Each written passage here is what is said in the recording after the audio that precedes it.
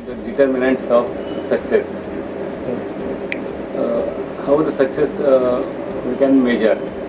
Generally, uh, success is measuring on habits and uh, if we will do that uh, efforts more, can we uh, success on that basis?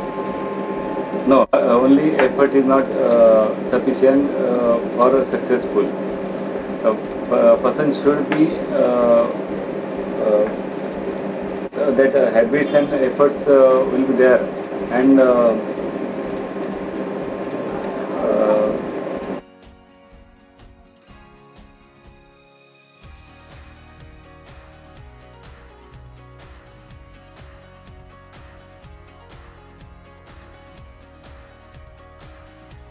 I received an email from the HR department stating that I have been nominated for this leadership program. I came to know my strength as well as improvement areas. When I look back today, I see myself as a charged person.